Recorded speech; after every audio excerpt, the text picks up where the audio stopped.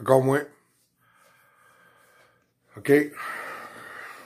Je capote. Un petit peu, des fois, ça arrive. Là, on se calisse d'Arruda. On se calisse de Lego. On revient comme notre vie avant le 15 mars. Le peuple, c'est fini de se faire contrôler. C'est fini de se faire rire de nous autres. C'est fini de se faire traiter ici comme du bétail. C'est fini d'être docile. C'est fini d'obéir. Maintenant, le peuple se lève parce que là, si on continue de même, on est fait. Fait que toi, le Québécois, tu désobéis, tu deviens non docile, tu te lèves, tu rouvres tes restaurants, tu rouvres tes business, puis tabarnak, un moment donné, ça suffit le rire de nous autres, là. Ma liberté, je la veux.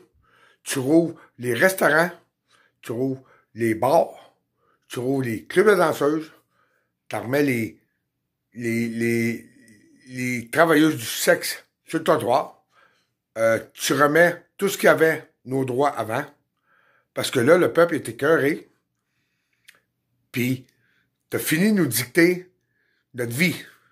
On est ici sur terre pour vivre ce qu'on a à vivre? Fait que là, à le peuple, s'il vous plaît, mettez vos, vos, convictions d'obéir de côté. Tu te lèves, tu désobéis, tu rouvres tous les business. Puis aujourd'hui, c'est même ça se passe au Québec.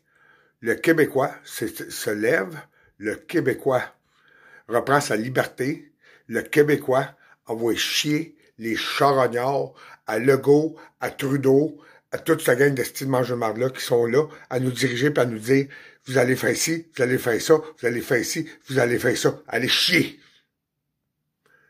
Réveille-toi, peuple. Excusez-moi, mais pas excusez-moi.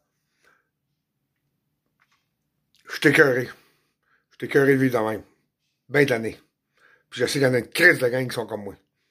Fait que lève-toi, puis esti, go!